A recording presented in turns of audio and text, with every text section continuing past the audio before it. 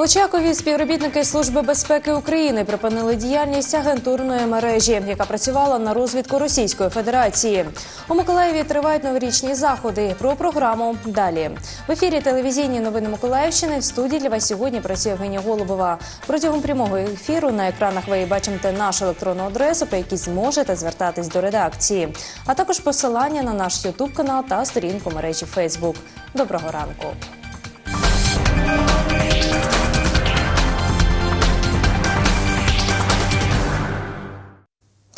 Про ці та інші події більш докладно. Сьогодні, 28 грудня, о 11 годині, Миколаївський міський голова Олександр Сінкевич скликає позачергову 50-ту сесію міської ради, восьмого скликання. Про це повідомляє прес-служба Миколаївської міської ради.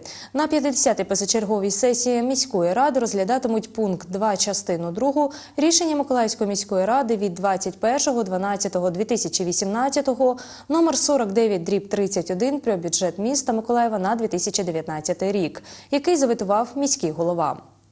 І в Очакові співробітники Служби безпеки України припинили діяльність агентурної мережі, яка працювала на розвідку Російської Федерації. Про це на брифінгу повідомив представник департаменту контррозвідки СБУ Володимир Настюк. Черговим результатом цієї роботи стало викриття та припинення протиправної діяльності агентурної мережі російської воєнної розвідки на території Миколаївської області. Операція була проведена під процесуальним керівництвом головної військової прокуратури. Зокрема, 20 грудня цього року було затримано її керівника, громадянина України 1961 року народження, капітана першого рангу Збройних сил України у запасі, який також має російське громадянство. Встановлено, що він був завербований кадровим співробітником головного управління Генштабу ЗСРФ у місті Севастополь та неодноразово виїжджав до анексованого Криму для проведення агентурних зустрічей. За завданням російської спецслужби, колишній старший морський офіцер та його посібники здійснювали збір і передачу інформації з обмеженим доступом про функціонування підрозділів військових на території Очаківського гарнізону Миколаївської області а також їх залучення до проведення операції об'єднаних сил на території на сході України.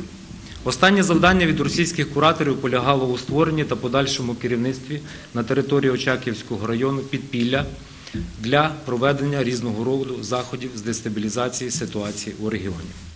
За місцем проживання чоловіка правоохоронці вилучили засоби зв'язку з російськими розвідниками, комп'ютерну техніку, електронні накопичувачі інформації, на яких обробляли зібрані відомості, а також секретні документальні матеріали.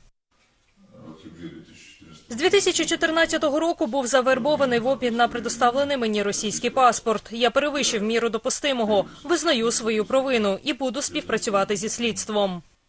На даний час громадянину України оголошено підозру про скоєння злочину, передбаченого частиною 1 статті 111 Кримінального кодексу України Державна зрада та обрану міру запобіжного заходу у вигляді тримання під вартою терміном на два місяці. Тривають оперативно-слідчі дії стосовно інших членів мережі будуть прийняті окремі процесуальні рішення. І до інших подій у Миколаєві тривають новорічні заходи. Сьогодні, 28 грудня, Миколаївський міський палац культури Корабельне, що знаходиться за адресою проспект Богоявленський, 328, о 10 ранку запрошує на новорічну казку світло новорічної зірки. А ввечері о 17 годині на концерт циркової студії та студії естетичної гімнастики. О 12 годині на містяни і гостей Миколаєва чекає театралізована ігрова програма Таємниця снігової королеви. Захід відбудеться у каштанному сквері. Після дитячої програми о 16-й на Соборній розпочнеться зимовий фестиваль духової музики. На святковий концерт Новорічні 2 о 15-й запрошує Великокиринийський будинок культури. Новорічний концерт серпантин новорічної фантазії у Матвіївському будинку культури розпочнеться о 17-й. І я передаю слово ведучій ранкової програми Новий день Олені Клепі. А наступний випуск новин вже о 8-й, тож не перемикайтесь.